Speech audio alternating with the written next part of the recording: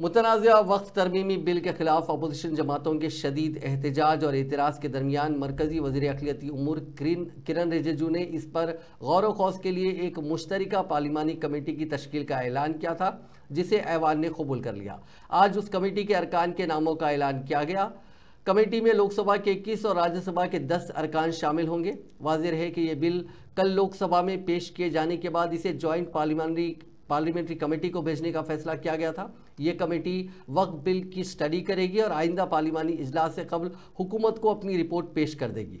मुश्तरका पार्लिमानी committee में लोकसभा से जिन अरकान को शामिल किया गया, उनमें हैदराबाद के रुकन पार्लियामेंट बैरिस्टर असदुद्दीन अवेसी शामिल हैं। कांग्रेस के एमपी इमरान मसूद भी शामिल हैं। राज्यसभा से मोहम्मद नदीम हक, गुलाम अली, डॉक्टर राधा मोहन अग्रवाल, नसीर हुसैन, विजय साई रेड्डी, मोहम्मद अब्दुल्ला, संजय सिंह और दीगर को शामिल किया गया है।